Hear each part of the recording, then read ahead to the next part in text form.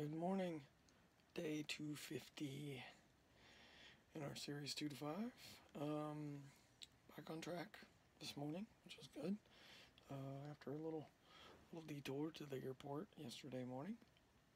Uh, back to the audio again. Um, worked on some of the ones that I had already sort of taken a first pass at.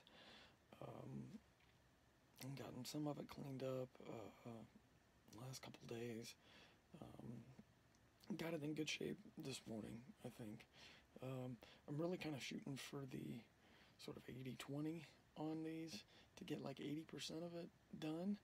And then I know I'll take another pass at the audio, kind of like I did with the video, where you, you know you get it to where it's like, okay, it's watchable, you know, but there's there's little little variations and little nuances that um, if you're listening for it, like it's gonna bug you.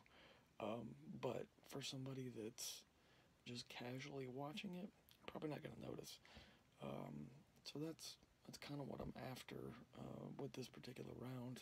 So so sort of the 80%, and then also at the same time kind of educating myself so that when I go back and um, know do the 20%, I will have gained some more skills and knowledge uh, to do some of the more complicated fixes um, on that. So it'll yeah, it'll take me a little bit to get there. The audio audio's tricky, man. Audio's super tricky. Um, you know, it, it's it can, and that was kind of the thing I was dealing with this morning. It can sound right, but then when you play another clip after it, um, the other one can sound right too. It's just, it's a different sound.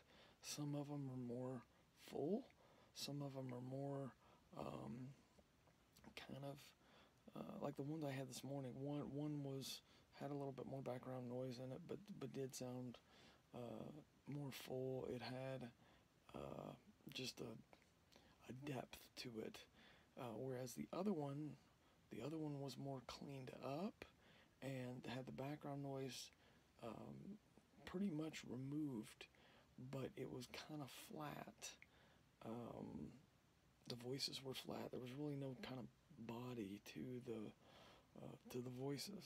So, um, like I said, it can. It, it's just different. It, it, it's it's an art really, um, and what kind of sound you're you're going for and, also just making sure it's consistent because it could very very easily if you're not listening to the clip before it and the clip after it could very easily just be all over the place um, and that's a mess.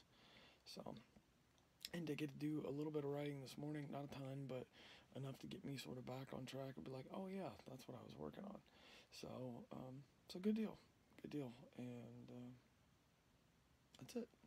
So thanks again for watching and I will see you tomorrow on day 251 at